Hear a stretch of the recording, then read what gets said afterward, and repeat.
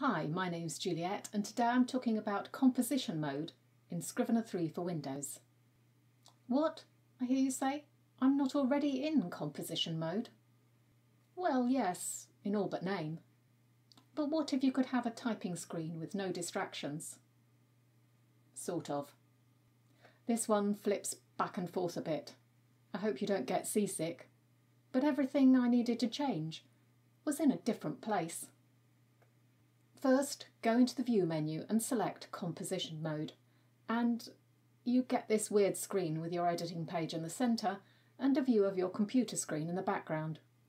Not exactly distraction free, and if I'm honest, quite ugly. But you can change this. So, to blank out the background, use the slider on the right. I don't think this colour theme works that well in this mode. To change the background, exit Composition mode by pressing Escape and under File go into the Options panel, Appearance and Composition mode. There are a ton of colour changing options, not just background.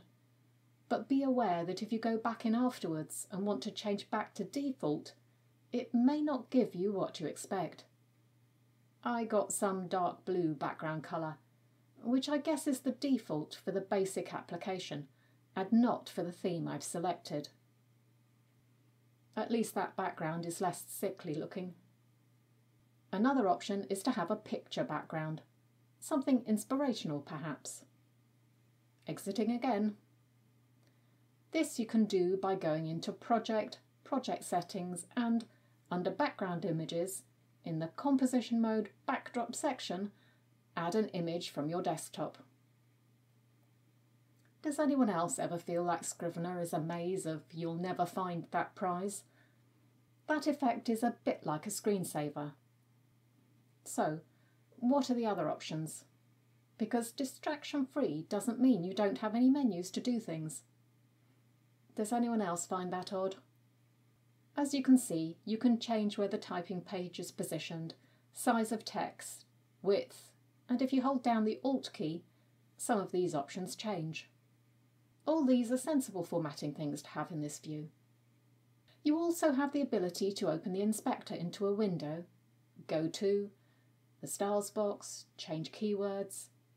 The inspector and go to, okay, you might need to have access to your plot details, and other parts of your manuscript.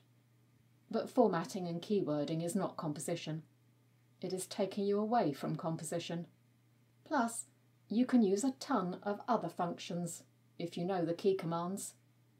Or you use the right click. Or there are probably other ways. I don't think I'll be using this view, mainly because I don't like the look of it. And if I'm going to have some functionality, I'd rather have it all. How about you? Do you think you'll be using this view? Or will you stick to the standard editor? Thanks for watching, and if you've subscribed, I'll see you again next time.